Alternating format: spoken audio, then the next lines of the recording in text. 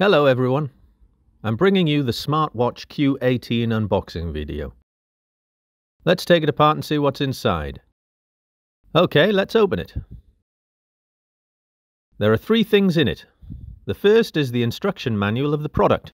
The instructions for use of the product and some precautions are on the manual, and the disassembly and assembly table of the product is annotated with pictures.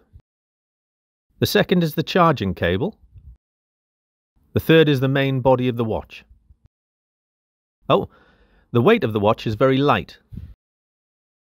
OK, let's tear off the protective film first and set it aside. The appearance of the watch is very delicate, which gives us a very comfortable feeling. The material of the strap is also soft. The buckle is also sturdy. Let's try the keys. It's crisp. OK, that's the end of our video. Thanks for watching.